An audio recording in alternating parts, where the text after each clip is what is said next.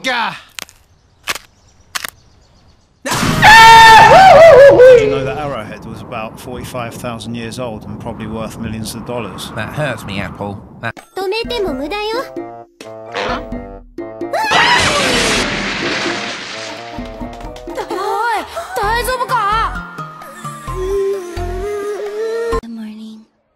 Look kinda different.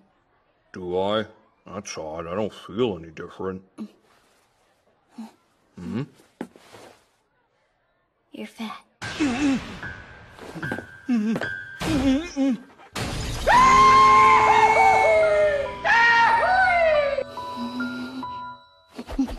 Hey, what's wrong, Ahiden?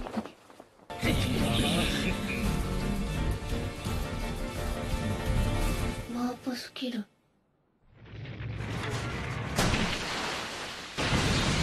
Ah!